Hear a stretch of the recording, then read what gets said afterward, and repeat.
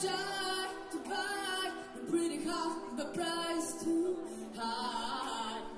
Baby, you got me let go. You love.